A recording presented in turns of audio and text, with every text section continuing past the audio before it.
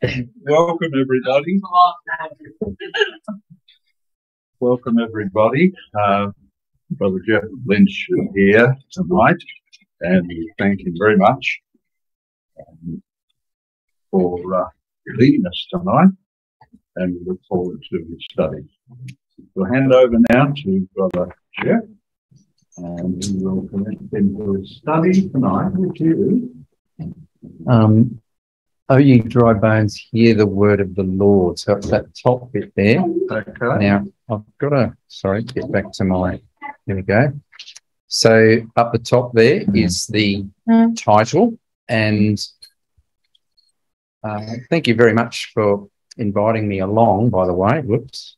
Uh, yes, so again, thank you. I'll go back to the start. Thanks again. It's a pleasure to be with you all and to, it's always a lovely thing, I believe, to get together and talk about the Bible. It's something that means a lot to me. And uh, I find a lot of encouragement by uh, the interaction that's engaged in when we discuss things about the Bible. So uh, feel free to put um, some comments in as we go if you've got something to add. But our study is a series of three nights, and it's about really the the rebirth, or the, the scriptural term is the resurrection of the state of Israel. And it's a fascinating story. It's, it sort of unfolds over a century or so, as you can sort of see little hints of God at work uh, around uh, the, the nation of Israel and the Jews and amongst the nations at large to bring about his purpose. So we're going to look in study one, that's tonight, we're going to look at Zionism and the period of the fishers. So this, this is a quote from uh, Jeremiah 16, the fishers and the hunters. You'd be familiar with, I gather. Uh, that's where that term comes from. So it was a period, as we'll see, where um, the Jews were being enticed to go back to the land um, but by and large, that uh, didn't attract them. Study two is um, we'll look at the uh, the hunters, which is also a quote from Jeremiah 16, verse 16. We'll look at the period of the hunters and the most amazing prophecy of the Valley of Dry Bones. The detail in that prophecy is incredible. And um, to sort of whet your appetite on that, a lot of people read Ezekiel 37 and see that it's it talks about the whole house of Israel, and they say, well, has it really happened? Has any fulfillment happened? And we'll see that the, the vision that follows immediately after the Valley of the Dry Bones answers that question, that there's actually two stages in the resurrection, the joining of the two sticks. So we'll explore that prophecy in Ezekiel, and hopefully that will give us a bit of meaning to this um, Valley of Dry Bones prophecy. And then our final study will take a step back and look at the sign and the wonder that has occurred before everyone's eyes. We're going to look at the Exodus um, and the covenant. I'll leave you in suspense to guess what that one is about. All right. So, as I said, tonight's study, it's not a, going to be super long, so you can breathe a sigh of relief there. It's about the fishers and the period of Zionism and the things that came together over the period of the 1800s and uh, and so forth that really brought about the momentum for the Jewish state and we'll take it up to the period of World War II. So, Jeremiah 16, if you want to have a look at that in your Bible, um, some people question Jeremiah 16 and say, well, is, is it really a latter day prophecy?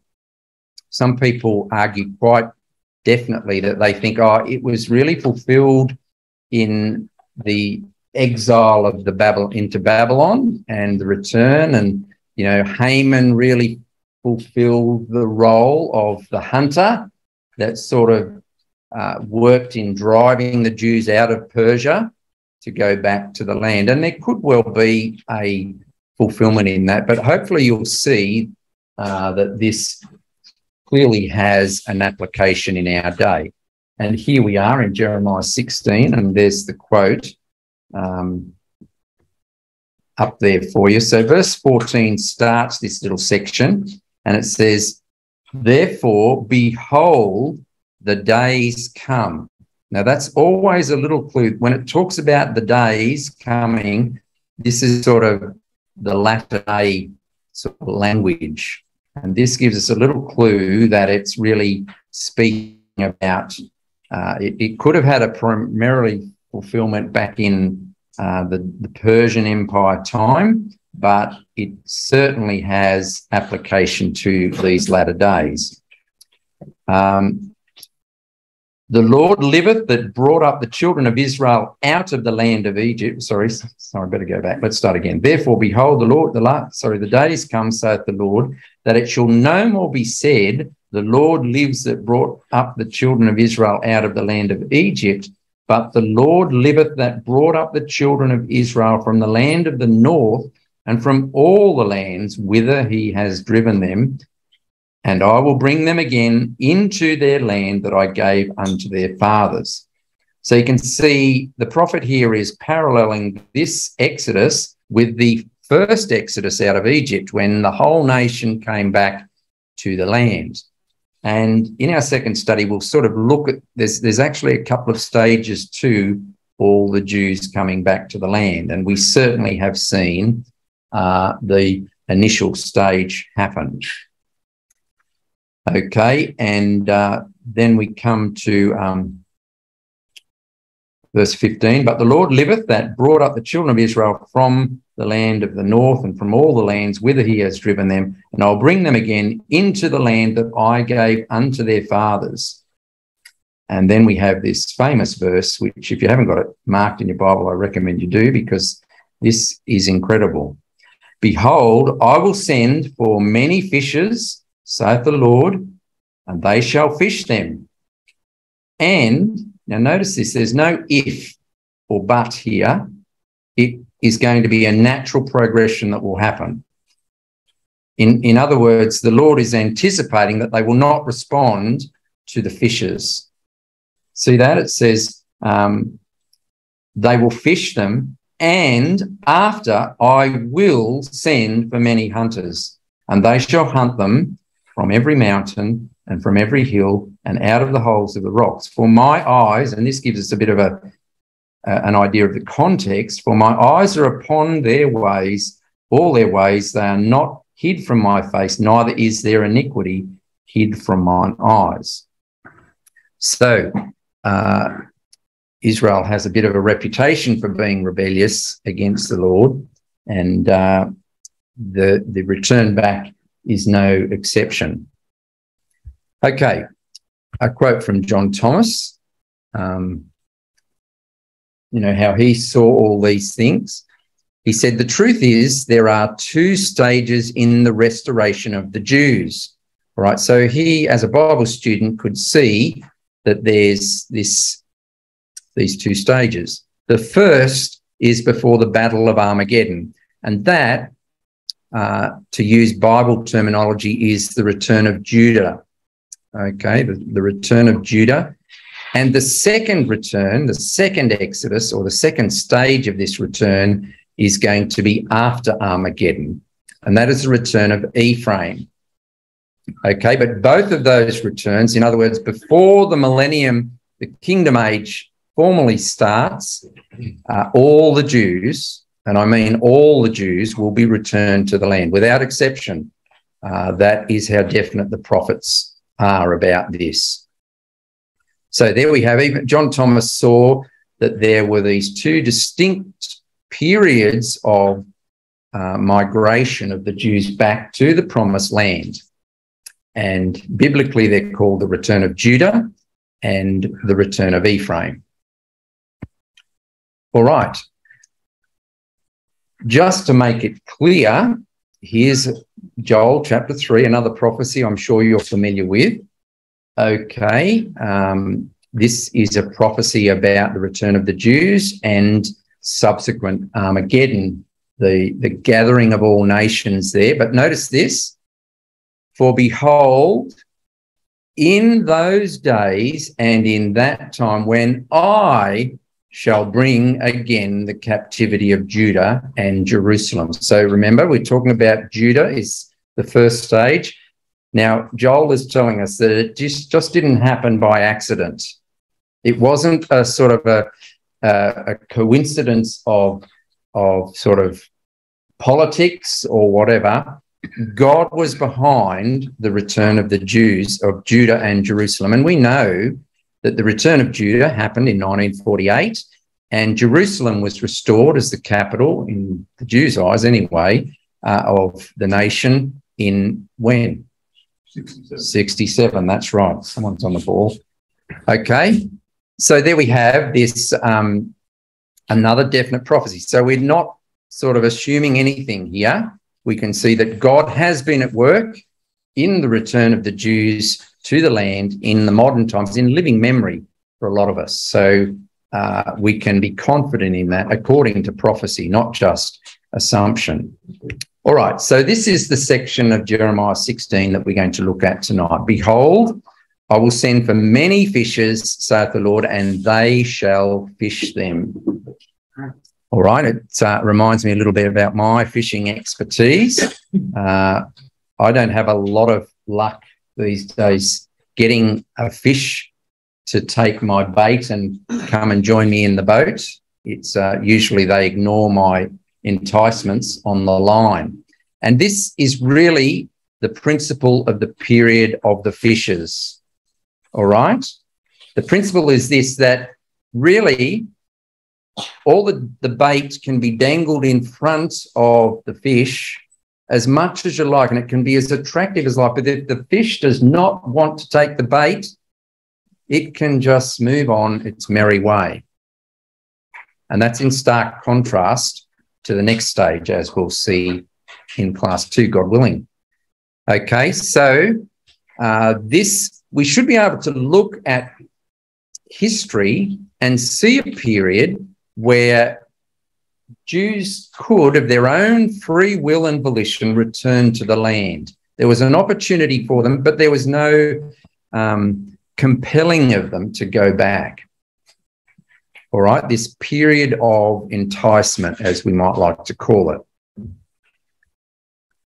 Okay, and what we, whoops, sorry, what we want to do now is look at the history and see the trends that unfolded over the period of the 1800s, particularly, and then the early 1900s, and we'll see how things started to give momentum to this idea of the Jews returning to their promised land. So, Uncle Joe. Yes. Is that, is that Joel 3, verse 1? Is that talking about the, the first return, the return of Judah, the second return, the return of Ephraim, or is it uh, applied to both? Uh, Joel 1 is talking about the return of Judah and then Armageddon following straight on from that. Remember, John Thomas said, Judah comes back. He didn't use that term, but there's a group of Jews come back prior to Armageddon, and then a group of Jews will come back after Armageddon. So in, in Joel 3, verse 1, that verse you read out. Yes. Uh, in those days and in that time when I find and bring again the captivity of Judah and Jerusalem. Yes. What period is that? So that's happened, uh, 1948, 1967. That's the return of Judah. That's, this is the first stage that John Thomas mentioned, the prior to Armageddon stage, return of the Jews. And they're called Judah, and we'll see in our second study why they're called Judah. I won't sort of steal too much of the thunder of that section, but uh, you'll we'll explain that in a little bit more detail. What's the significance of Judah and Ephraim? All right. Any other questions? That's great to hear young people interested there. So don't feel sort of bashful or embarrassed. If you've got questions, by all means. Just a quick question. Geoff. Sure. Uh, is, is there any reason that um, you say this these fishes are like hook, line, and sinker kind of fishes as opposed to net fishes? Uh, yes, I think it is fishes as far as like the Peter catching the fish with the hook. Um, I don't see it. Well, when you look at the history, you can see there was lots of opportunities trying to entice the men were working very hard in some circumstances to encourage Jews to go back, but it didn't appeal to them and they didn't. And being Jews and knowing their history and their special status in God's plan, they really should have known better. And we'll sort of explore a bit of that as we go through. So, yes, the hook, line, and sinker type of fishes, not a net. All right, so it sort of starts in the 1800s. So these, there's two uh, rabbis here and one secular Jew that wrote a bit about uh, the dream of the Jews returning back to the promised land. This is uh, Judah uh, Alkalai, I think that's how you pronounce it. He published, this is right back in the early 1800s, he published uh, certain uh, books or booklets advocating a Jewish homeland for Palestine. And this was, in his reckoning, a solution to the pogroms. And a pogrom is really a persecution against the Jews, for those who don't know what a pogrom is, where the populace just get a bit annoyed and think they need to vent their frustration, so they take it out on the Jews. And uh, a pogrom is generally associated with Jews. Okay, and there were many of these happening over the years, and uh, this rabbi could see the frustration of the Jewish population throughout Europe. That really the answer in his reckoning was to go back to the land, and he published some booklets uh, to, to, to float that idea right back in the early 1800s. So the idea was not a radical thing that Theodor Herzl pulled out of the woodwork at the end of the 1800s, as we'll see. It had been talked about and discussed. And remember, this is hot on the heels of the French Revolution. Now, the French Revolution was a period of nationalism where we're not going to put up with these monarchs. We're going to set up our own state and manage our own state in a democratic way. And we're going to determine our destiny. And all these countries, uh, and particularly in the middle of the 1800s, it was called, when John Thomas wrote Elpis Israel, it was called the year of revolutions because all these countries were revolting against the status quo and, and breaking away in these, these countries. Um, and the question, sort of, the Jews were asking, well, what about us? You know, we've been persecuted and we've had to migrate here and there to avoid persecution. What about us going back to the promised land? Isn't that what God wanted us to do? These were the thinking Jewish leaders that sort of were starting to uh, promote this idea. Now, this uh, Zvi Hirsch uh, Kalischer, I think that's how you pronounce it, he advocated uh, settlement and self defense of the Jews. He advocated taking up arms uh, in these pogroms and not just taking it uh, as a lamb to the slaughter. And he also advocated the idea of working the land. All right. And this became a hallmark of Jewish settlement uh, about a century later, that they would come back as agriculturalists, as John Thomas described it. Okay. And this was just prior to John Thomas writing Elpis Israel. And these ideas were being floated around. And no doubt John Thomas would have uh, heard about these publications. And then we have this Moses Hess or Moshe Hess. He was a socialist, so a secular Jew. He was contemporary with Karl Marx.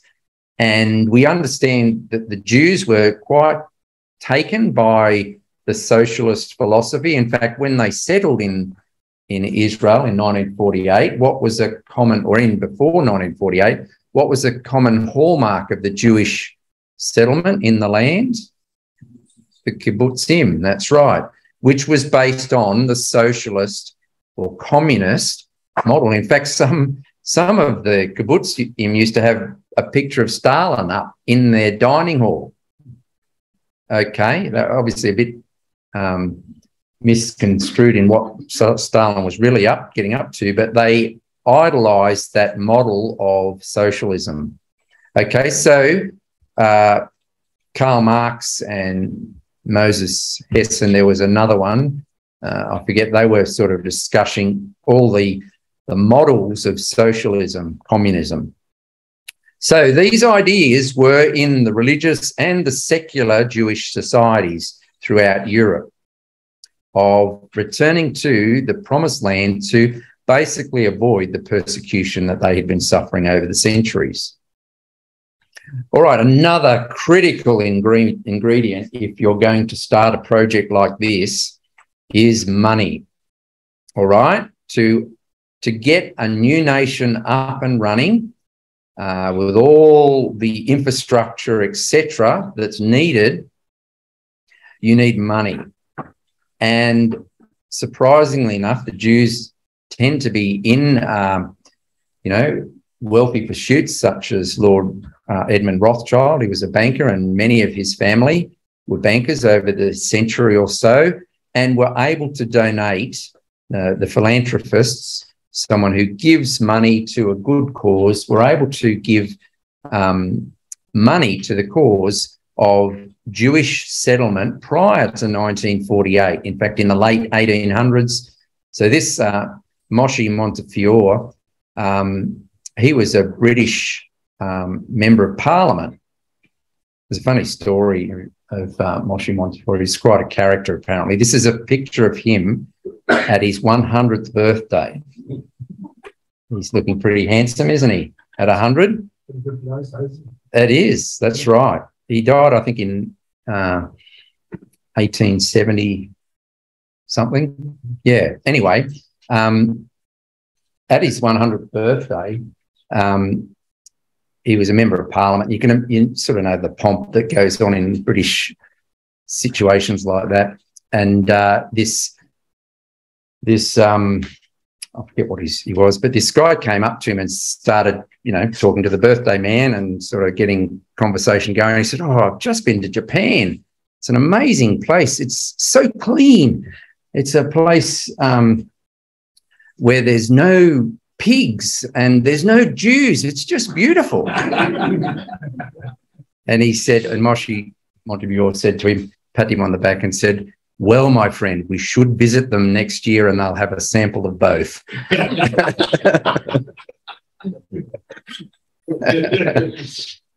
so that was the sort of character he was. So he was a religious person. Um, and uh, Maurice Hirsch, he was uh, was a secular Jew that, um, again, we're talking about money on a scale that is just hard to imagine today. They bought uh, uh, nearly a quarter of a million acres of the promised land in Jezreel and around Jerusalem, a quarter of a million acres. They, these guys booked. There were, there were other people that um, worked, but these guys single handedly donated money and they had other funds set up where they would collect smaller portions from other Jews and uh, not only buy the land, but invest in the infrastructure. In fact, the, the windmill outside Jerusalem, the old Dutch type windmill in West Jerusalem, uh, it was Moses Montefiore that built that as a result of because the Jews needed to try and produce their own food in those days. They were so poor. So these philanthropists um, certainly started to give substance to the idea of going back. And many Jews did start to return during this period, and we'll see why in a little in a slide or two's time. Okay. Another fascinating thing that happened during the 1800s was what's known as the Christian awakening. It's sort of a period they call they sort of try and define as as the first and the second and the third awakenings. All right so there were the wesley brothers in england back in the 1700s they were the first awakening and uh, they got the methodist movement going. This is in britain. And then in america Uh, there were the Millerites. Does anyone know what religious group came out of the Millerites? The SDAs, the Seventh day Adventists. That's right. And then we got uh, Joseph Smith. What group came out of the Mormons, the Church of the Latter day Saints?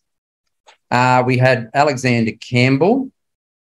Uh, he was a man that associated with, here's John Thomas. This is probably about how old he was at that time. Picture of him in the, his younger years um, in America. And then C. Russell, uh, what was his name? It was, um, uh, yeah, sorry. No, I can't think. So this C. Russell, does anyone know what church he started? Yes, they were known as the Russellites. They later changed their name to the Jehovah's Witness. All right. And here, this is actually a Bible camp in America. Uh, does that look familiar? what does it look like? Duralock. It does, yeah. Uh, sorry? Glenlock. Glenlock. Uh, now, Circus. has anyone ever been to Yarrahapinni? Yep. Okay. So this tradition of Bible camps where people would go for a week or a weekend or whatever and study their Bibles and um, they would do all sorts of activities at these things. This came out of this period where people took an active interest in the Bible and discussion around the Bible. And this this fermented a whole heap of uh, passion and and drive in society, and it was largely centered in Britain and America. Coincidentally, Britain and America.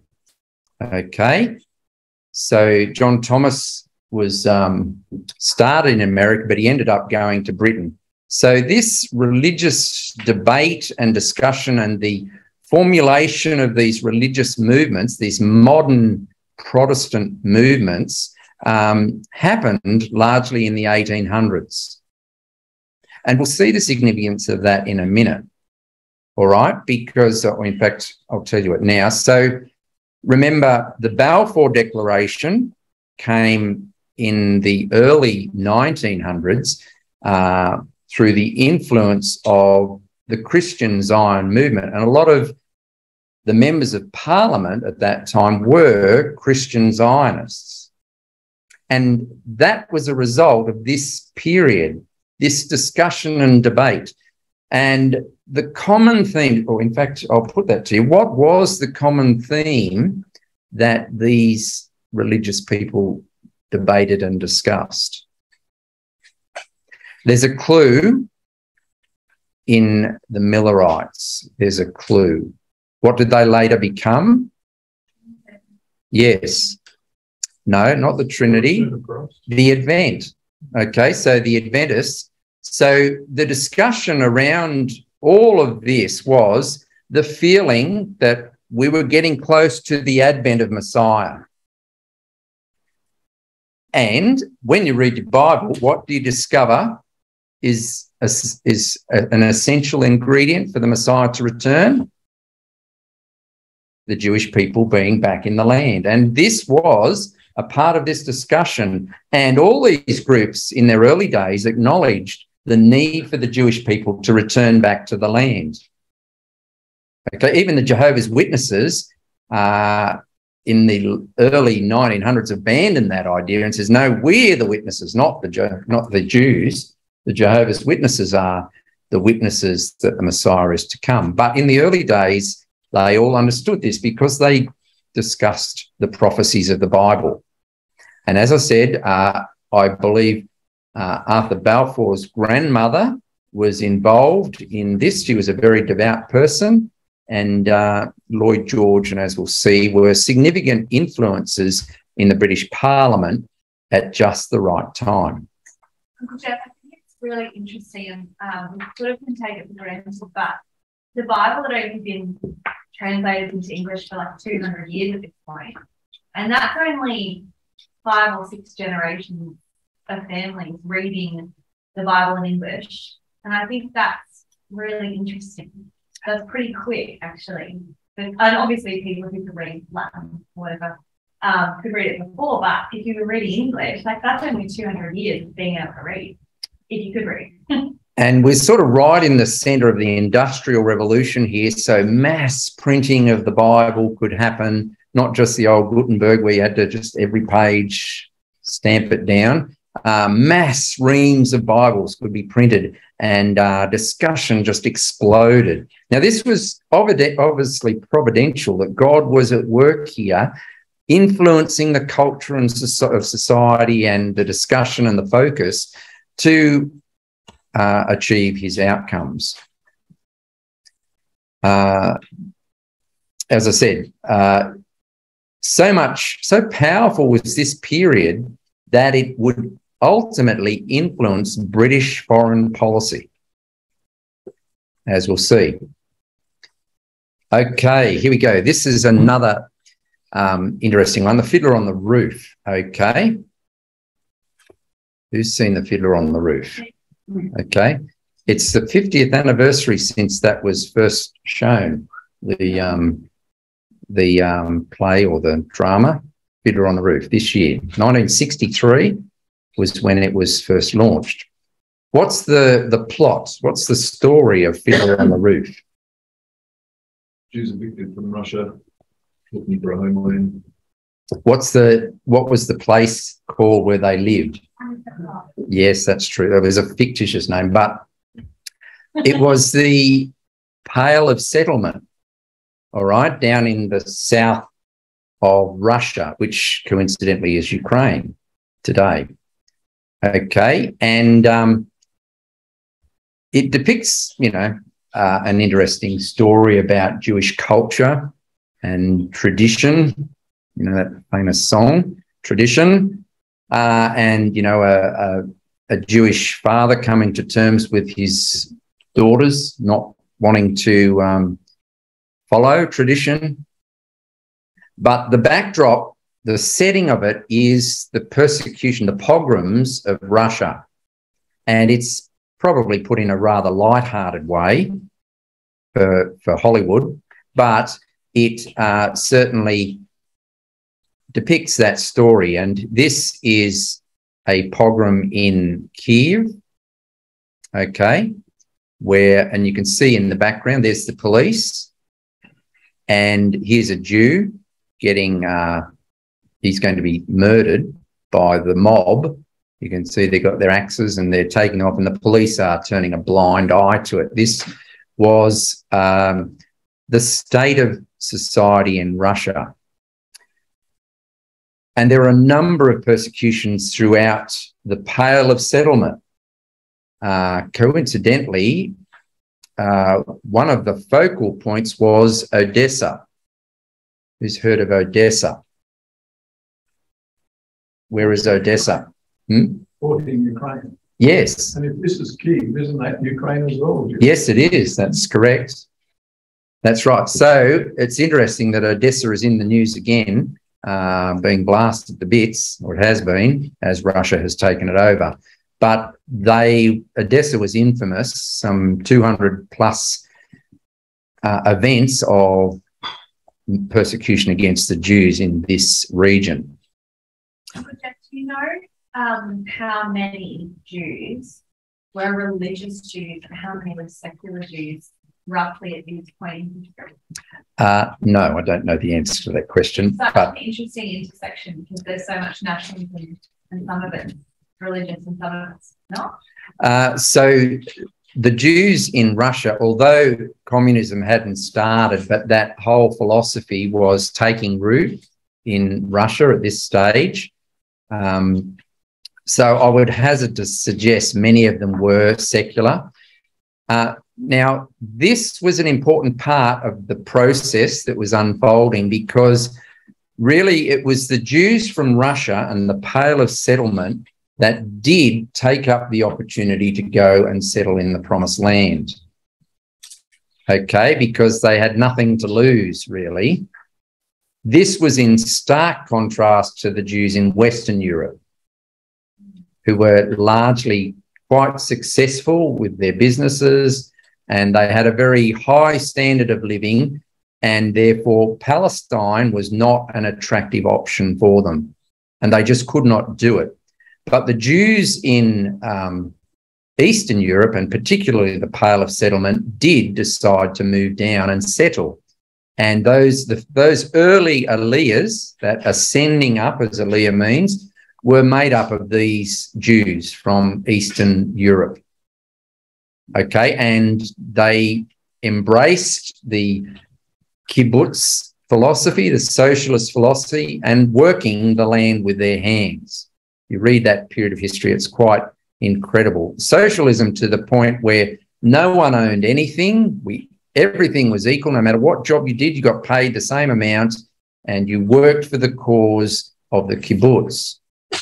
Okay, and it worked well in the early years, but uh, eventually capitalism took over, and there's very few kibbutz working in the original traditional model these days, if any.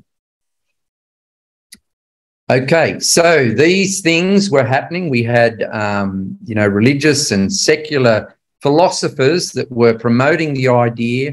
We had uh, philanthropists that were convinced and prepared to, to donate uh, huge sums of money. There was a Christian movement also uh, that would have a later play in this the part of the puzzle, and then we had uh, this these pogroms, these small sort of local areas of persecution that sort of caused the Jews to leave. And that's depicted in the fiddle of the roof at the end of the story. The Jews are forced to move on at the order of the Tsar, Tsar Alexander, I think it was, or was it Nicholas? One of the Tsars ordered him, ordered them to move, and they had to pack up their belongings with whatever they could carry and move on. Well, it was this man that really brought it all together this uh, Theodor Herzl must have been a very persuasive and driven individual. He traveled and traveled um, extensively uh, to promote his idea of Zionism. Okay, you know the story of Theodor Herzl. He was a secular Jew in Austria and he was a journalist and he was uh, covering the Dreyfus case. You heard the Dreyfus case, which was a high ranking um, officer in the French army who happened to be Jewish. And uh, there was a lot of corruption in the French army at that time. And Dreyfus was used as a scapegoat. And it really polarized French society in with anti-Semitism. And Theodor Herzl was appalled as a journalist reporting on this to the newspapers across Europe at what he saw. And um, subsequent to his, um, what's it called when you you lose your rank? No, the in the army when you're court-martialed or whatever it was. Hmm? Uh, yes, he was sacked, basically, humiliated.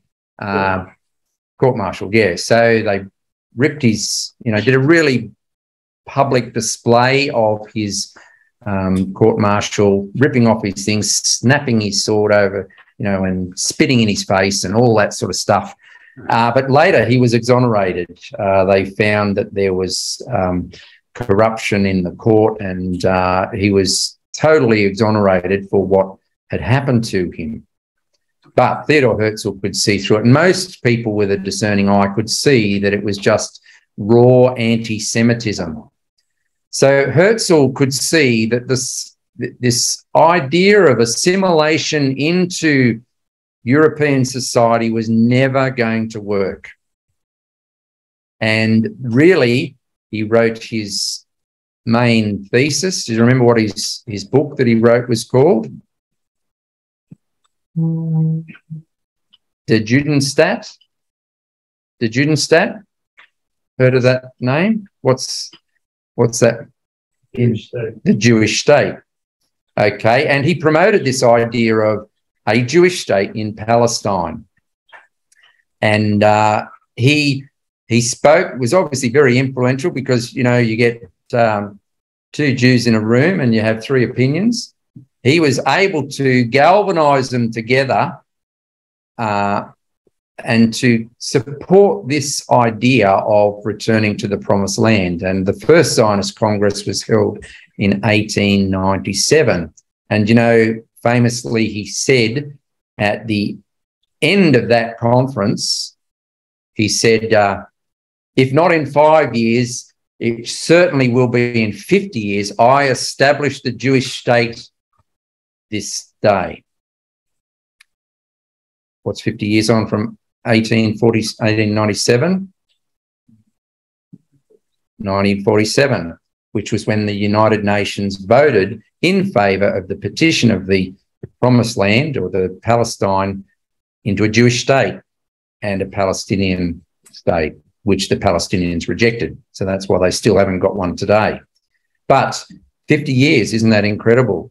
He could see that he had pulled together the momentum of all these things and galvanized them into a focused action. Uh, and even he couldn't stop it. It's interesting. In 14 years, he was so frustrated, he proposed the idea of going to Uganda. Okay. Now, he was the father of this. He was the one that got it all going. He's driving the train and he says, No, no, we've got to go to Uganda now. And it was bigger than him now. He couldn't stop it. It was really a work of God. This is what you see in these processes that happen. And tragically, Herzl died um, in his early 40s, I think he was. And sadly, all his children died prematurely as well in tragic circumstances. Um, but the cause had borne and kept moving uh, right after his death.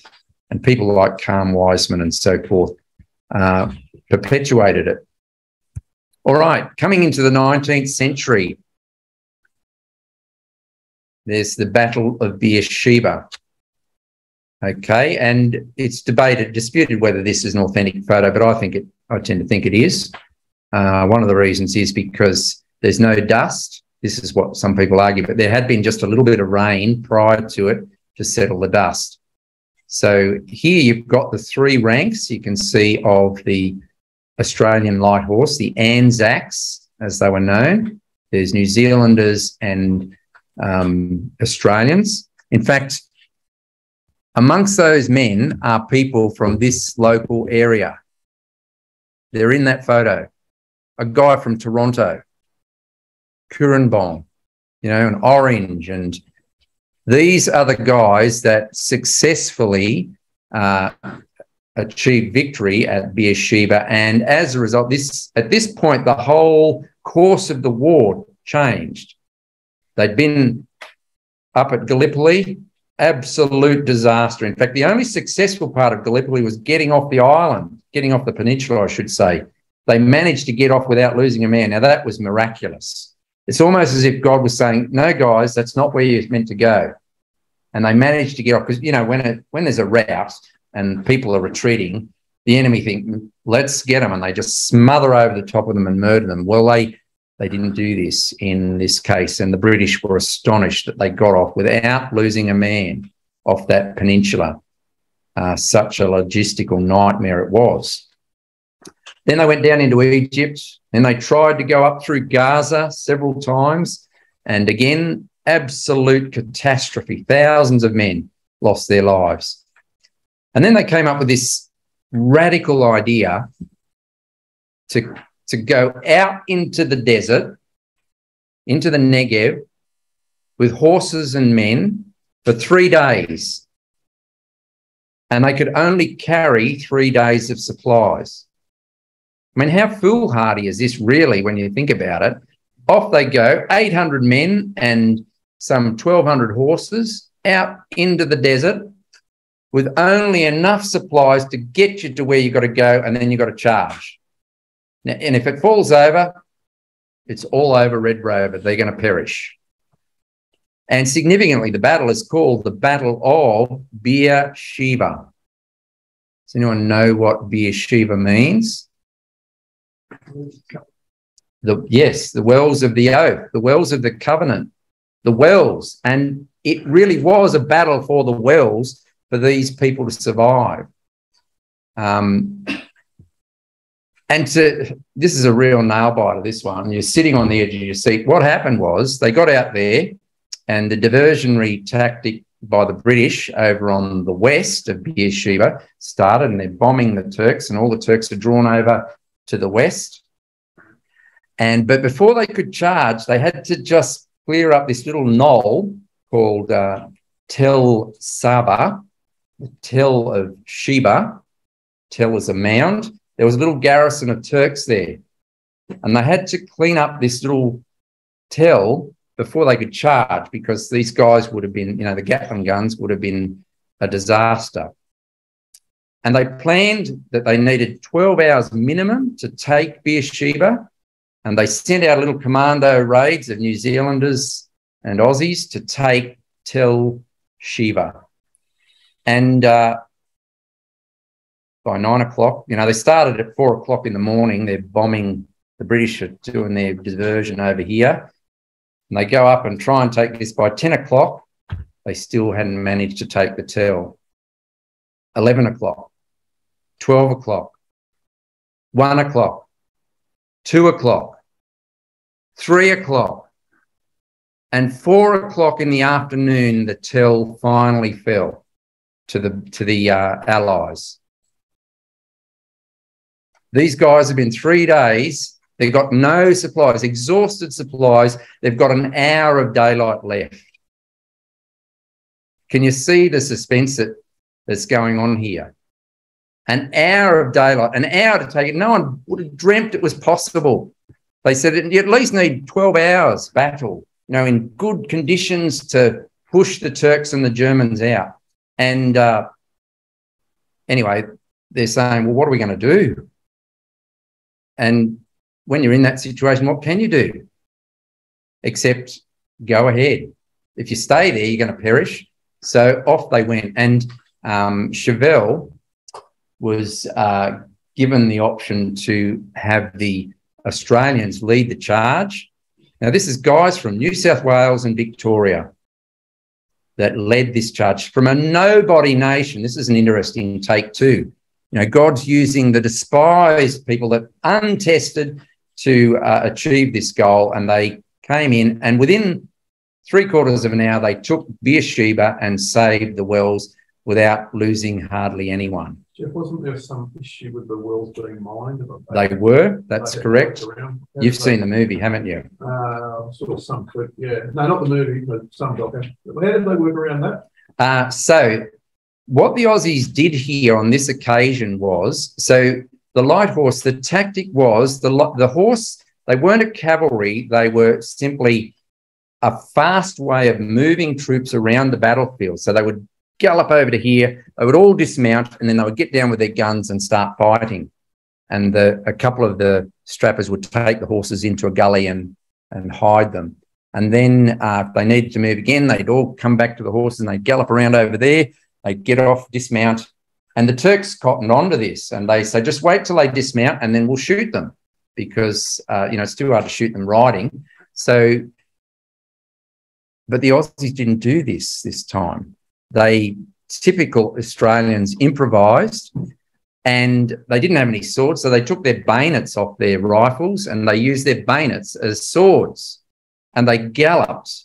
This is this is uh, four miles they gallop this charge. You can see the guys off in the distance there. Four miles. And uh, I mean, how long is the Melbourne Cup? You know, no. These little. Did you get the right horse this year, though, Jamin, or last year? Sorry. Anyway, okay, this is incredible that they managed to get that far with these little Brumby horses.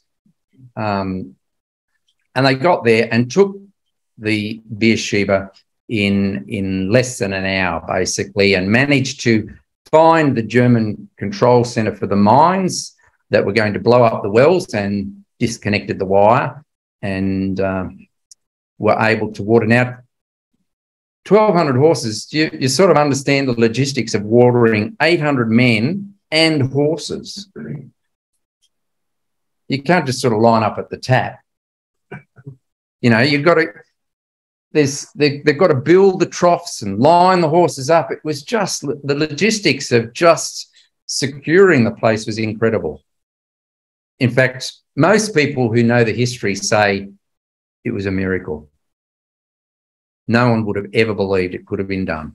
Such a foolhardy idea to go off into the desert at such high risk, such high stakes, and they managed to pull it off and achieve it. And Beersheba was taken. And I could turn, you could probably put, in fact, we just did it in our readings recently. Um, Genesis 46. You remember when Jacob goes down into Egypt to, with, to meet Joseph? I don't know if you're following the readings, but if you are, the story goes that Joseph was, go- uh, sorry, Jacob is going down into Egypt and uh, he builds an altar at Beersheba, coincidentally. Remember the story? And God appears to him. This is the last time God appeared to Jacob in a vision as he's going down into Egypt, or at least it's recorded anyway in the Bible. He goes down and God says, Don't worry to go down into Egypt. I'll make you a great nation down there, and I will bring your children back again. I'll bring your offspring. I will bring Jacob back. At Beersheba, it was said, as Jacob is leaving the land, God said to him, May the promise of Solomon, surely I will bring you back. All right. This is incredible language. That's Genesis 46, verses 1 to 4, if you want to have a look at it. It also, Geoff, brings in Daniel 11 too, doesn't it? The king of the south pushing at him. Correct. That's right. Okay, so Just before go on, yeah, uh, did you think about the quantity of water for 800 men for per day? 800 men and 1,200 horses. That's you got some volumes? uh, more than 10,000 litres. Yeah. Uh, Well, how are they going to carry that around? You know what I mean? Where are they going to get it from? So they had dug a few little wells to supply them as they went, but they couldn't stay there. They had to move on. So that's how they managed to uh, s- to get round there. And they all this subterfuge that had happened for weeks as they prepared for this battle. It's a fascinating story, and uh, miraculously, having failed in a naval attack on Constantinople, absolute disaster of Gallipoli, then trying to take, you know, in really in hindsight, you think, well, surely just marching up through Gaza would be the same thing as they'd take Palestine, wouldn't they? But no, God wanted them clearly to come through Beersheba because of its significance. And to a Jew who knew his Bible well, would know that there's significance attached to, to Beersheba. And that's just one passage, So you're you saying this is part of the Fisher period. period? And you'll see why in this next slide. Because guess what happened at exactly the same time? When the, the, the Aussies are barreling down on Beersheba, the British Parliament is sitting and approving this document, and it was issued two days later. Now, that wasn't by design. They, the British didn't sort of get it all together, and it was just coincidence. In fact, the Parliament had been debating this document for some six months. And the stubborn members of Parliament were trying to change it, who coincidentally were Jewish, were wanting to water it down and water it down. And it went back and forth and back and forth. And it was really um, through the persistence of these Christian Zionists that were in Parliament at the time that it ever got anywhere at all. And coincidentally, it was approved the very day that Beersheba was being taken, and that as soon as the dust settled from that, they issued the declaration where they support the return of Jewish migration back to the promised land. Now, if a Jew was watching this who knew these, the significance of this, he'd say, I think providentially something is happening here. The British government, the superpower of the world that had won the war, or was winning the war, I should say, um, at this point, is supporting us. This, there was nothing like this until you go back to the Persian Empire when Cyrus made the decree. This is the parallel that we're talking about here. And to the Jews, this should have been quite plain. In fact, the Jewish people, every Sabbath, what do they finish their Sabbath meal with? Next year in Jerusalem. Every family who keeps the Sabbath says that. Next year in Jerusalem. Do you think, why do they say that? What connection did they have with that concept? They knew that that was the promise of, the, of their forefathers to eventually one day they would be taken back to the promised land. And here was an opportunity, and really they failed to take that up. Okay, here's a few interesting chaps. Do we know who these men are? You probably know who this guy is.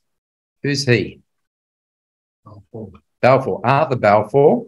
He was the foreign secretary at this time, and he's the one that the declaration is named after, Arthur Balfour. Now, who's this guy? He's a little bit more strange. Anyone know who he is? He happened to be the Prime Minister, Lloyd George. Again, these are people who, uh, particularly Arthur Balfour, he was a very religious man. Um, Lloyd George was probably more a politician, and uh, but he used Christian Zionism, Zionism as a platform when it suited him. All right, so the Prime Minister and the Foreign Secretary pushed this idea of um, the Balfour Declaration, and they finally got it passed by Parliament, uh, even though, ironically, it was Jews that opposed the idea. In as British Jews, as members of Parliament, that debated against it. And here's the, the irony of this predicament. The argument they had against the, the issuing of the Balfour Declaration was uh, these were British Jews, and they said, There's no way I'm going to go back to a ghetto in Palestine and live down there. I'm a British citizen. This is where I'm born and bred and where I'm staying. Move back down there to the ghetto. I mean, how powerful are those words? In a few decades, they would become, you know, uh, corralled into the ghettos of Europe for not going down there. All right, and this final guy, does anyone know who he is? That's a good guess, but no, it's not right, Phil. Sorry. It's Herbert Samuel. All right, notice that name Herbert Samuel. Now, he is a member of parliament as well, and the name gives it away. He's Jewish. Jewish. Now, he, you see him in this garment here. Uh, this is what he wore when he went to Palestine. He became the first High Commissioner of Palestine. In other words, the, the main CEO, the, the chief executive officer of the mandate of Palestine. And he's a Jew. That's pretty remarkable, isn't it? Here is a foreign military power that, in fact, were the victors of World War One. They've deliberately chosen to put a Jew in charge and they've made a public declaration to say, we support Jews returning to the promised land. It's pretty amazing, isn't it? Okay, and uh, he took up his office. You know, when he walked, he arrived at Haifa and then he came down to Jerusalem and they gave him this royal welcome as he came to Jerusalem. People were in tears as he walked in this white suit down into Jerusalem. And they said it was like the Messiah had returned. They felt it was that powerful. All right, so all these things had happened after World War II. This is Jewish, uh, July 1920. The British mandate was approved by the League of Nations. Okay. Now, does anyone know? Yes, haven't got it there. Who this fellow is? Um, Chaim Weizmann. That's right. Now, he was the president of the World Zionist Organization, and he gave a speech at the exact same time as this guy was taking up office in Palestine. And this was the title of his speech at the World Zionist Organization in 1920, June. Jewish people, where are you? See, he was he was a, a staunch advocate for the Jewish people to return, and he would work uh, tirelessly, even up through and after World War II, for the Jews to return to the land. But he could see that this was the golden opportunity for them to come back. And he was just flabbergasted. He could not understand why they wouldn't go back. Jewish people, where are you? What are you thinking? Was the tone of his speech.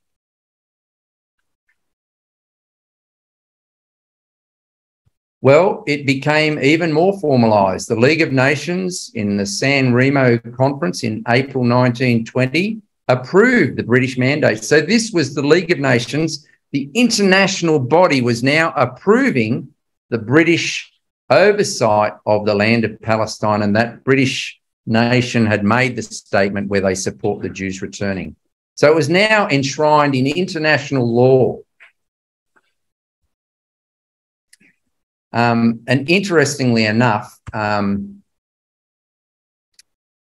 in 1922, they sort of amended this British mandate article with this Article 4, and they said, look at this. An appropriate Jewish agency shall be recognised as a public body for the purpose of advising and cooperating with the administration of Palestine in such economic, social, and other matters as may affect the establishment of the Jewish national home and the interest of the Jewish population in Palestine. So the League of Nations, having approved the British mandate, added this extra clause that they want a Jewish agency set up to facilitate the settlement of Jews as well under the British right? And uh, to assist and take part in the development of the country. Now, this, let's call it a governing organ, all right?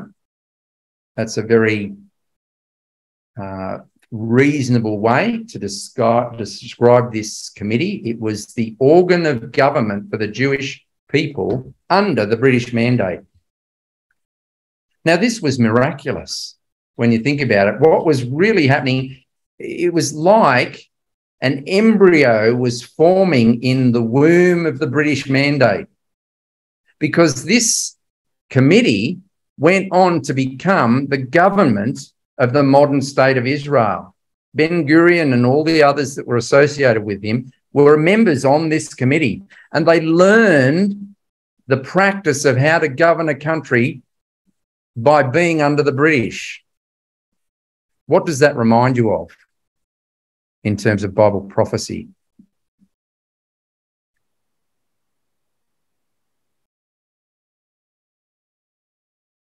Us. Yes, yeah. It's um, this is a pretty pretty out there question, right? But I, the clue is in this organ of government. Hmm? Yes, yes. I guess that's true what it made me think of, right? This is the resurrection of a body, right? As Ezekiel 37 describes it. And here we have the brain, the organ of government being developed and gradually put together by the divine hand as you know and, and ezekiel 37 as we'll see next class god willing intimately describes piece by piece as this body is being rebuilt and here is the thinking, the governance of this body that was being put back together. They were in control of the culture and language, the medical um, supervision and oversight of the Jewish education, defense, purchase of land, youth affairs, public works, culture, the development of rural settlements, all these things the Jewish agency took. They, they were the government, the fledgling government in embryonic state under the Jewish uh, under the British mandate. And the question should be asked well, why didn't the Jews see it? Why didn't they go back? Surely, you'd think all these things, you know, Chaim Weizmann could see it, and other prominent Jews, religious Jews particularly, could see it. Well, the answer is here. And this is a quote from Yigal Lossin, who wrote The Pillar of Fire, which is a very seminal work on this period.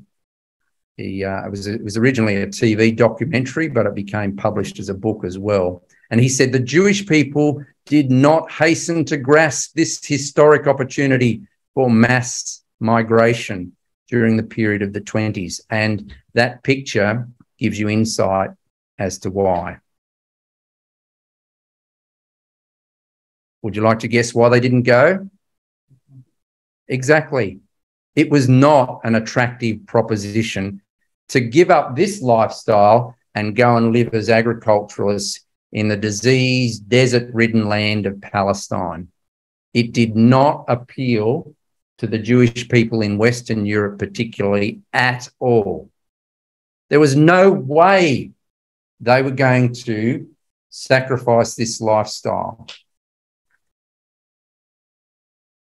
And sadly, as Chaim Weizmann despaired, the Jewish migration during this period hardly measured a blip when this momentous opportunity was there. So this was the period of the fishers.